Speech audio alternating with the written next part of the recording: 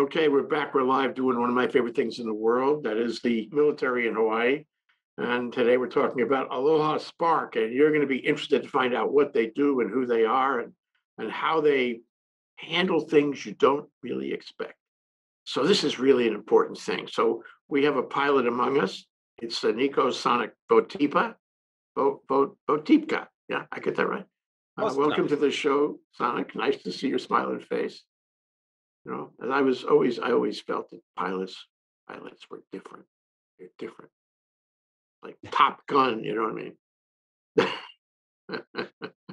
Uh, I mean, I mean, the truth of it is, we are different. We're all uh, giant nerds, and um, pilots don't want to admit that, but it, it's it's the truth. Uh, they're a bunch of really nerdy dudes uh, uh, who fly planes for the Air Force, which is probably a good thing.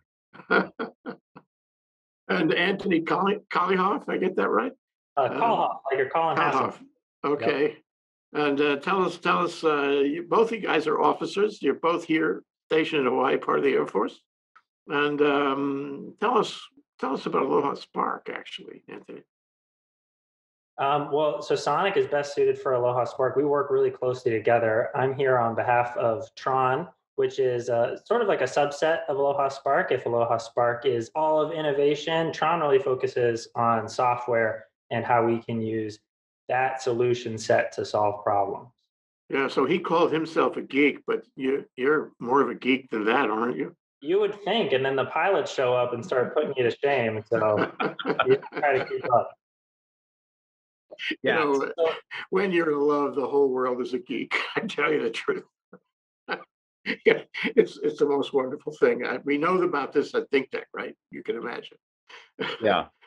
So uh, okay, so the Air Force. Um, you know, you start out with the notion is that the Air Force, like every other military service these days, there's a lot of really high caliber people there. Um, not only graduates of the academies, um, you know, but the OCS and, and who knows how, how they got to be an officer. Um, and and the question is, um, you know, innovation. We need innovation. American industry, and for that matter, everything in America needs innovation. You guys are the innovation mongers. So why do you have to be separated?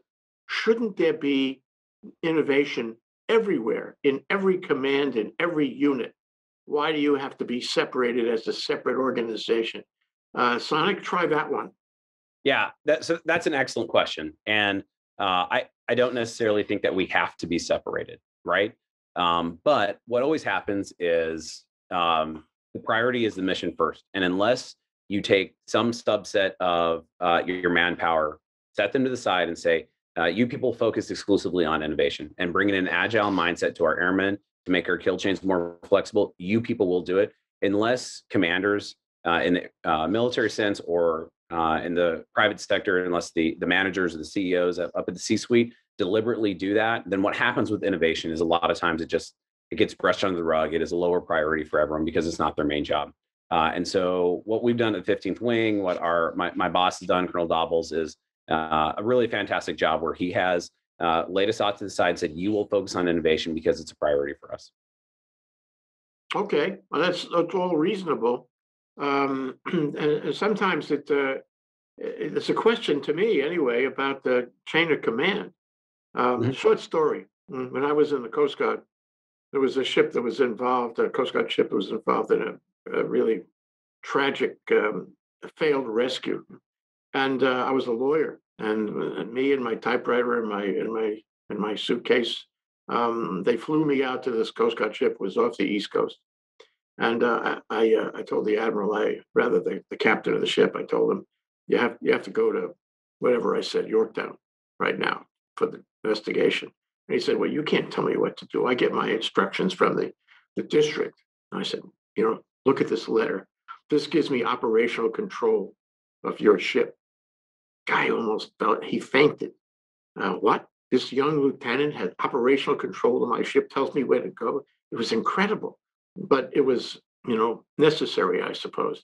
Point is that the chain of command, people are pretty jealous about their command prerogatives. You know, you see that all the time in every service. So when you walk in to the captain of the ship or the, the aircraft or the base and say, look, we have some ideas for you.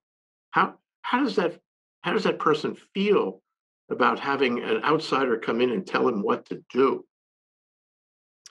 Uh, so that that is a that is a wonderful question, and uh, Jay, like, I mean, the answer is obviously you're you're asking a question about like human interaction. Obviously, the question is varied, right? So, number one, about command structure. Uh, I work for uh, the 15th Wing Commander, and I operate at his prerogative. Um, and the military command structure, even with innovation, is completely intact, and it's something that uh, the military cannot operate without. Um, on on the other hand, um, when I, I, feel like you're broaching the subject of how do we approach someone and ask them to uh, develop an innovative idea, exactly, and, and, they that that question runs the gamut, right? Uh, there are there are you know many commanders out there who are extremely supportive, um, or like, and you're like, hey, sir, you know this air, sir, ma'am, this airman had this great idea. I want to let you know this is what's going on. Can we run with it? Um, you know, a lot of commanders out there are like absolutely 100% go for it, and that's completely to be expected. Other ones have actual operational constraints that they just that that are difficult for them to still accomplish their mission and support innovation because what we talked about a little bit earlier, right? Our manpower is a finite resource in the Air Force, and if I'm coming up to you and saying, "Sir, I really need you to uh, give me this airman to, um, you know, so I can work with him for 20 hours a week to get this project done," he may have very realistic, real world constraints and, and not be able to allow that to happen, right? Uh, and so the the the response is is completely varied depending on on who exactly we talk to. Well, you have to have good social skills to do this work. I mean, I don't know if I have good social skills. I'm sure great social skills uh, would absolutely help.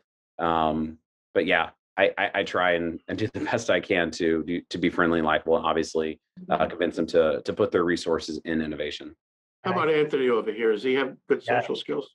Huh? Yes. Oh, well, I said, I said yes beforehand, anticipating a different question, but we'll take it. Um, I, I just wanted to throw in that most of the time when we're interacting and bringing up ideas for innovation, we don't have to do a lot of pushing. It's uh, more of pulling us along. And the pain point exists for the organization and innovation is how do you go about solving that? So it's not often that we come in and just say, you got to be doing things differently. It's usually like, this thing has been driving us crazy for a while, but there's all these different factors at play. How do we come up with a solution? And as experts in innovation who've gone through the training on that, we can teach the models that we know that lead to better solutions. And, and, and Jay, what Anthony said is such a great point, right? It's it's not that we walk into units and say you must do this better right like in order for any successful like innovation we can just, just talk about the products that we bring to squadrons as just being a new startup out in the out in the free market right like people have to want to buy that and people have to want to change their daily habits to align with with whatever new product we have for them in this case it may be a new software solution coming from anthony's team or it may be a 3d printed thing or a different process coming from my team um, both those are completely fine, but we have to convince them to um, change the way they do things now and swap over to another set. And usually those problems are self-identified. They're like, this is really painful. Let's involve Aloha Spark and Tron and, and see exactly what we can do to fix it. Um, you know, this design, this reminds me of design thinking out of Stanford, which is a, a whole you know, way of way of thinking, I think. And and it's like uh, when you have the skills, when you have the technology, and you walk into somebody who might be your client, say, whatever the context is, your client, um, and he tells you what he wants. And then you say, wait a minute, wait a minute, wait a minute. You don't really want that. Let me explain what you really want because I am trained to listen to exactly what, what is at the core of your mm, need. And design thinking helps you do that kind of interaction so that you come up with the assignment that really gets home on it rather than the assignment that the, in this case, the commander feels is necessary. You go through the kind of process? I think it's a balance that you have to walk. You want to help find a better solution than anybody could come up with independently, but you also don't want to invalidate the people who are experiencing the problem uh, and a lot of times, historically, uh, we have people working on solutions that aren't intimately familiar with what's actually happening. And so they make assumptions or they work off requirements that didn't match the service member's actual needs.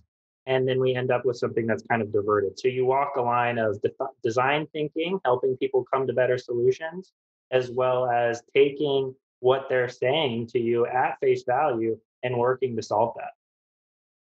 You guys, you guys volunteer for this unit? Or, or was it, or is it something, well, I mean, in the Coast Guard, we had something called a wish list.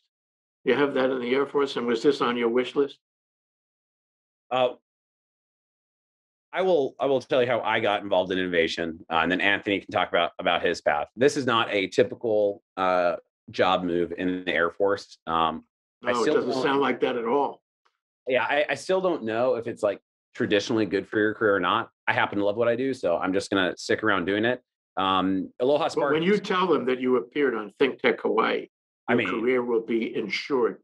I, Right I up, right up the flag, I'm telling you now. I am very excited, very excited for that. I can't wait to be promoted to 05 uh, off the show.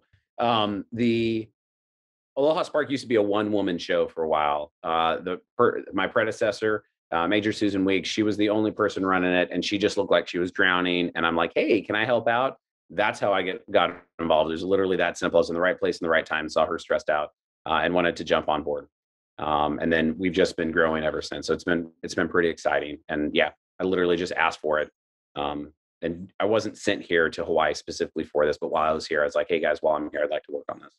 Yeah, so you, you've had the ability to innovate for your own selves, to grow, to grow the unit. Am I right, Anthony? I mean, what, what's your story about how you got involved? Yeah, so I took the squeaky wheel approach and uh, I kept saying we could do better until I, I fell into this new opening. Uh, Tron has only been around for a couple of years, and uh, while we were going through the software process, we figured out we needed somebody like me as a cyber officer to sign off on some security requirements. So they heard my name, the you know my hunger to solve problems, and uh, I ended up here. I think a lot of us just see how much better we could be doing in certain areas and keep fighting for a better solution. And then we end up in organizations like this. Well, so how far do you ride, do you- ride the baby, so to speak? In other words, you, you evaluate the request or the problem, whatever it might be, and you come up with some conceptual, you know, program, some idea uh, to solve the problem. Um, and then who actually executes the idea? I guess it depends on the case, doesn't it? But can you can you tell me what you know what the the experience you have is? I mean, did you do you write it right down to the last inch, or maybe uh, stop at some point and let them do it? What a phenomenal question. There is so much packed into this question. Number one, there is no standard stereotypical route for uh, the way a project starts from idea to completion, right? We intercept projects from the very beginning of an idea. Sometimes not even an idea. Sometimes people just griping about issues that they have at work. Um, sometimes we pick up a project like halfway through completion, right? Sometimes we pick up a project from another base and we're like, we want to do it here. Um, but in all cases, every single project is different because um, there is not one path to success. We don't just like bring the team in and be like, all right, let's innovate this together and like snap our fingers, magic happens, and the solution pops out, right? We have to talk about money. We have to talk about the best approach. We have to talk how, about how many people we need involved, about how many iterations we need.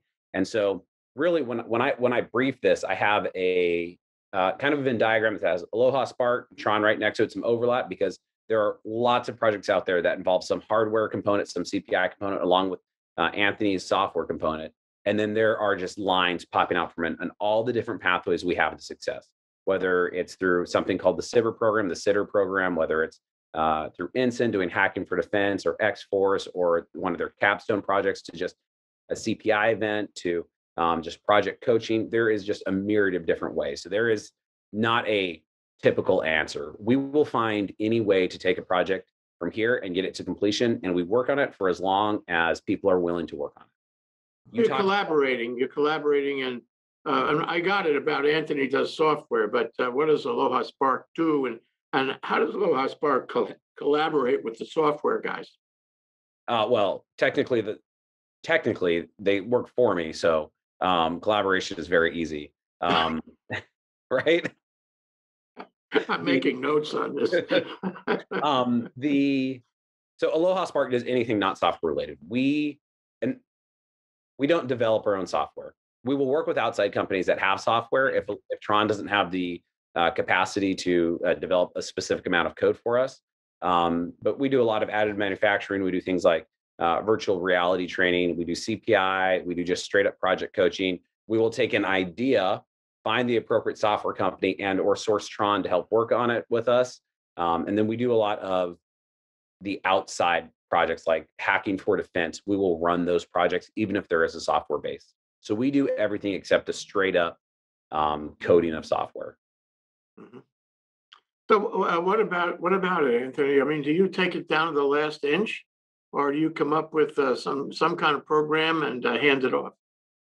I think our most exciting work is really down to the last inch, to the the ones and zeros on the code and figuring out how to make it happen. We do do a lot of other stuff as well, things that we call accelerator projects. So we're just helping people find new ways to do what they're doing. But what made us different from just a Spark cell is we have developers, we have user experience designers and project managers that take really good ideas and then turn them into working applications that the warfighter uses. And so that's what happened with our biggest application, Puckboard, which is a collaborative live flight scheduling software. We had an idea, we worked through the authorization process, and now it's in use at over 150 squadrons. That's Well, that's a great success. It's not limited to Hawaii. Yeah. It's not. It, it's spreading out and encompassing more mission sets and diving deeper into the ones that we're already in to take on more and more of the pain points that the schedulers face. Well, you've drawn a, a very, mm, you know, expansive view of the, the possibility of problems. And, and, uh, you know, as an outsider, it strikes me that, you know, the, the military has a lot of problems that are, um, first of all, it changes. That's the first thing. It's not like it's static in any way. So you, you know, you could solve a problem today and a week later, there's another one that you never, you know, never heard of until a week later.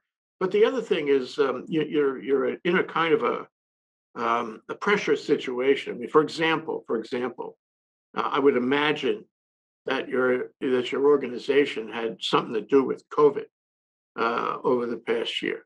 That people came to you and said, "Look, we want to protect the Air Force and the and the, the airmen and women, you know, from COVID. Uh, give us some systems that where we can make sure that it's all working correctly and that we get the maximum, you know, protection and for that matter, the maximum vaccination and whatever, whatever's necessary. Have you had projects around COVID? Yes, we have. So one of the most exciting projects that we've had goes to show how much we've grown since we first started. With Puckboard, it took a year to get to production, figuring out all the different technological and bureaucratic blockers. But with Stoplight, our COVID application, we were able to deploy something in a week. Uh, what Stoplight did is took people who were manning entry control points at the medical group and uh, giving out basically flyers saying, you know, have you been in contact with anyone with COVID? Do you have any symptoms? And then once they're all good, they let them through. That's a really routine process, perfect for software. So we were able to make a simple web app that doesn't require uh, the storing of any personal identification information and put that up in a week so that instead of a person standing there, it's just a sign. It has a QR code and you go through the checklist and you're good to go. And that goes to show that we're not just coming up with something new and sticking with it.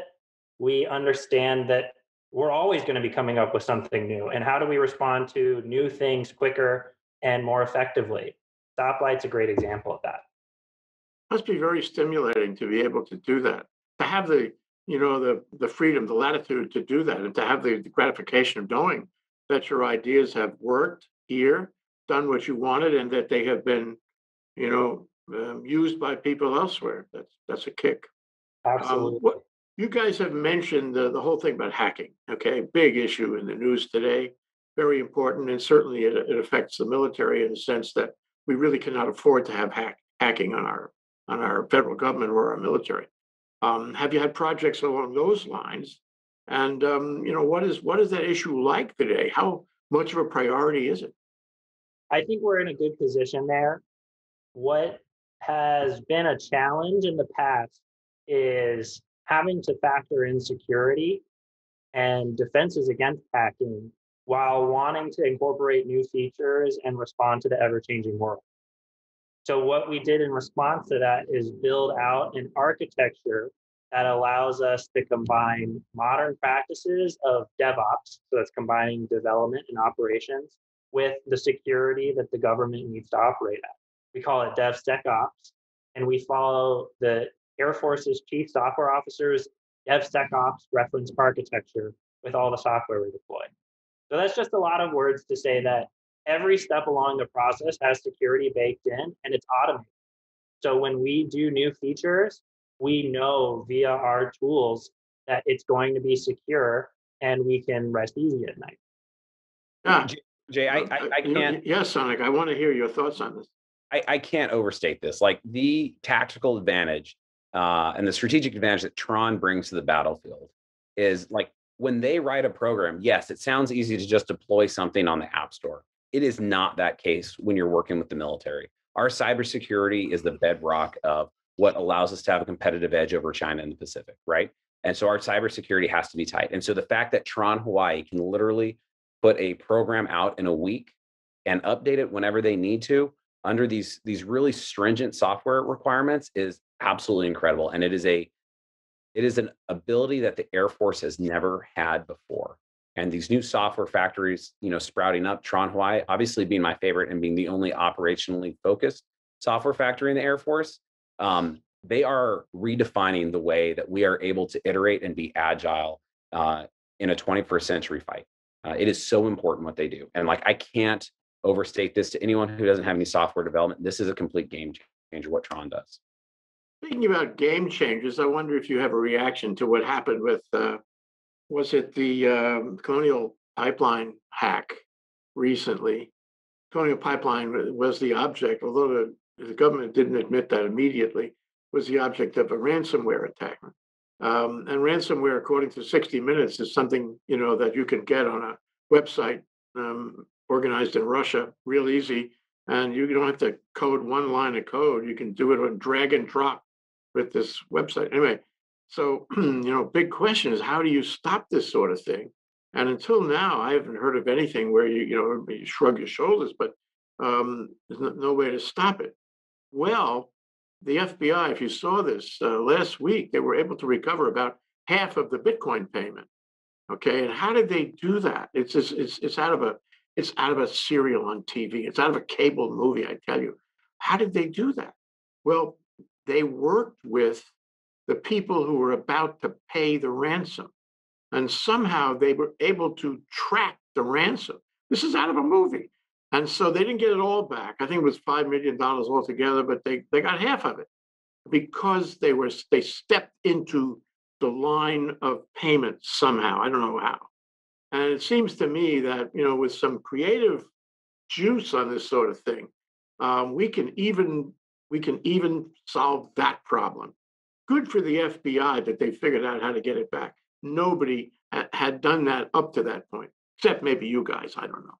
Uh, but it just shows you that there's there's opportunity for innovation, even in something that doesn't look like there's opportunity for innovation. Thoughts? I've got a yeah, lot. I, Anthony, as a cyber officer, once again, go ahead, brother. Yeah, I, well, I'll say as a cyber officer, I think that's a little outside of my scope. Um, but you know, drilling into the the thought that you had there, there is definitely room for innovation, pretty much in every aspect of the military, and it's something that and the government that we are embracing more and more. And I'm so excited to see the the leadership and uh, the workforce buy into it. And I think that it's going to produce outcomes that we never imagined. Yeah, well, that happened here. So one thing that strikes me, a couple of thoughts, and I like your your view of this. Uh, is number one is um, uh, although you don't find this so much in the civilian community, the military community find a lot of training. You find training. You know, when I was in the service, and my observation of people in the service over the years since is they do get trained. There are there are classes about this, that, and the other thing. Before you know it, you have a PhD, and you haven't and you, ha- you haven't you know you, you you had to have the PhD because that's the way it got set up. And likewise, um, you know, we talked before about the, the changes and the and the new things happening. And you guys have to be at the cutting edge because you have to know more than your clients about how to solve problems. You have to bring to the table more than just um, you know an innovative spirit. You have to have you have to have knowledge. you have to have technique. You have to have resources about how to solve problems. So my question is, uh, when Anthony or any of the other staff around you, Sonic, um, you know, uh, goes through their daily or weekly or annual experience, you must have plenty of training for them because they have to be up current on everything that's available, right?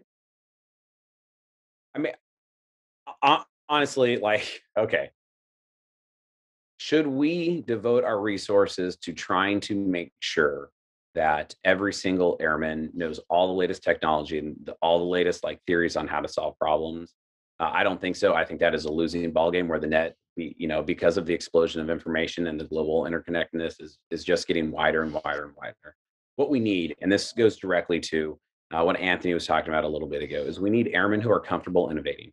We need airmen who have an agile mindset, who, when a problem is put forward in front of them, just be like, "All right, no big deal. We're going to sidestep around this, and we're going to and we're going to keep going." Right? That builds flexible kill chains. That makes it so um, whatever uh, effects we need on target will actually happen because our airmen are used to doing that. And there are several ways we do that. Um, I want to highlight one of the programs that that Anthony's Anthony's team is pushing so aggressively, and it's the SDI, the Software Development Immersive. Right? You talk about this ransomware attack. That is bad, right? And what the military needs is they need airmen and soldiers and Marines who have software fluency, who have a cybersecurity fluency, right? And so, one thing the Air Force is, he- is investing heavily on, which Anthony's team is is spearing, is the is this in education, this immersive education on software development. And we can find the airmen who have that natural knack, just like you said, who want to know more than everyone else, who stay up late and are on, you know, Think Tech Hawaii's uh, webcast, you know, just just watching the old episodes who have that passion. We need them to be working for the Air Force in a software capacity or in an innovation capacity in order to stay ahead of the competition. The way we do that is we find passionate people, give them an agile mindset, and then put them in a position where they can make decisions. And that's what we're trying to do here. What's an agile mindset? An agile mindset. So, number one, uh, so agile mindset to me, everything's focused on the customer and we iterate, iterate, iterate, iterate, iterate until funding stops or people are done. Right? Mm. Like we test it, it did it work? No, okay, test it again. We test cheap and fast. And it's it's this startup mentality, this lean thinking mentality. That's what I think when I when I talk about an agile mindset. I want airmen who are faced with a problem, like, all right, let's try something else. Develop five minutes of a solution. If it worked good, we're going to keep building on it. And obviously, that's what uh, agile software development does. And that's what Anthony's team does. Yeah, that's what Thomas Edison did. that's excellent. ways, it is that finding out what doesn't work.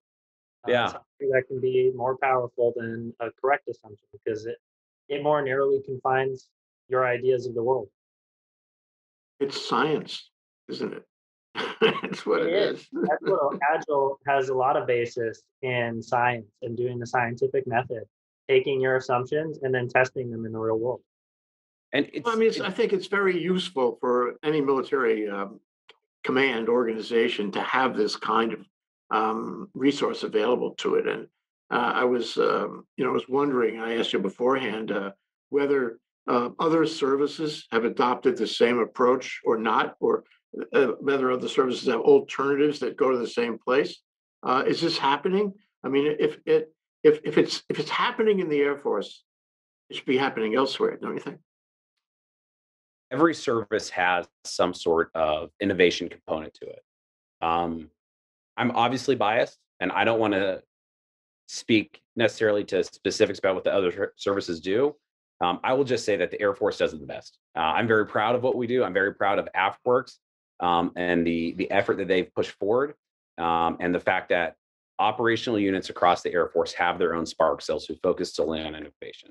The other thing that I'm proud of is Tron Hawaii, who is Uh, that right now they are expanding. Right, they are the first software factory that was part of an operational wing that is out there to solve wing problems and not Air Force level problems or big problems. It is I'm going to solve wing problems, and it's it's this grassroots theory. And Tron Hawaii is now expanding and building out Tron nodes across the entire DoD.